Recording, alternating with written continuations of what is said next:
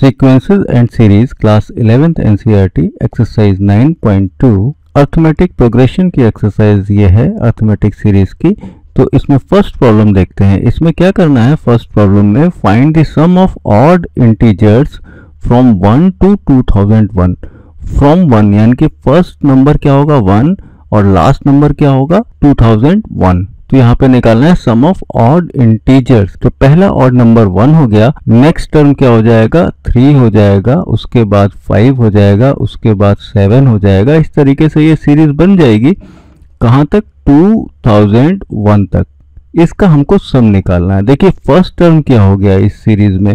First term ये हो गया a equals one common difference क्या होगा यहाँ पे? कॉमन डिफरेंस हो जाएगा यहाँ पे टू का, क्योंकि वन में टू जोड़ने पे थ्री आएगा, सारे टर्म आ जाएँगे प्रीवियस टर्म में टू जोड़ने से और टर्म्स तो डी क्या हो गया टू अब हमको क्या चाहिए? अब हमको सम निकालना है sum of series n terms ये क्या होता है? ये होता है n by two a plus l l क्या है यहाँ पे? एल है यहाँ पे लास्ट टर्म है। तो यहाँ पे देखिए लास्ट टर्म पता है फ़र्स्ट टर्म पता है टोटल नंबर ऑफ़ टर्म्स पता होने चाहिए सीरीज़ में। तो हम कैसे निकाल सकते हैं? यहाँ पे देखिए लास्ट टर्म पता है। Last term suppose nth term है। यानी कि टोटल नंबर ऑफ़ टर्म्स अगर एन है सीरीज़ में तो लास्ट टर्म क्या हो जाएगा? A plus n minus one into d यानी कि two thousand one equals a की वैल्यू वन है plus n minus one d की वैल्यू टू है। इसको सॉल्व कर ले तो आ जाएगा two thousand equals two n minus one तो यहाँ से देखिए n माइनस वन क्या आ जाएगा? वन थाउज़ेंड तो n की वैल्यू आ जाएगी वन थाउज़ेंड वन तो टोटल नंबर ऑफ़ टर्म्स कितने हैं सीरीज़ में?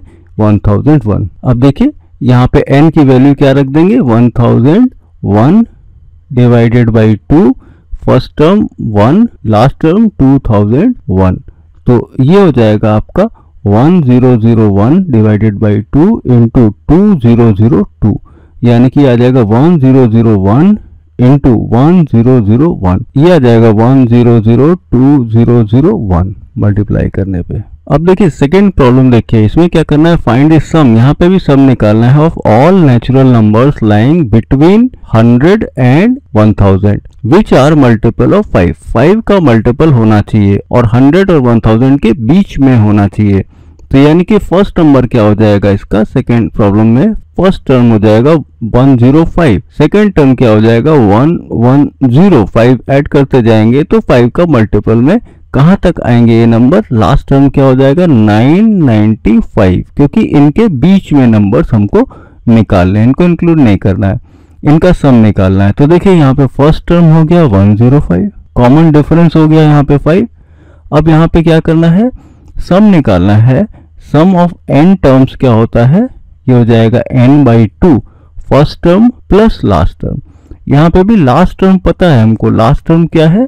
लास्ट टर्म 995 है। इसको हम लिख सकते हैं, अगर total number of terms n है सीरीज़ में तो लिख सकते हैं a plus n minus one into d यानी कि 995 equals 105 plus n minus one into five तो इसको हमको सॉल्व करना रह गया। फाइव से डिवाइड करते ये आ जाएगा one ninety nine equals twenty one plus n minus one means twenty plus n तो एन की वैल्यू क्या आ जाएगी? ये आ जाएगी one ninety nine minus twenty ये हो जाएगा वन सेवेंटी नाइन ये एन की वैल्यू होगा। यहाँ पे हम पुट कर दें तो ये आ जाएगा one seventy nine by two a की वैल्यू है वन ज़ीरो फाइव और एल की वैल्यू है नाइन नाइन्टी फाइव इसको हम सॉल्व कर सकते हैं one seventy nine by two into eleven hundred ये आपका आ जाएगा one seventy nine into five fifty ये आपका आ जाएगा 98450 इसको आप सॉल्व कर लेंगे।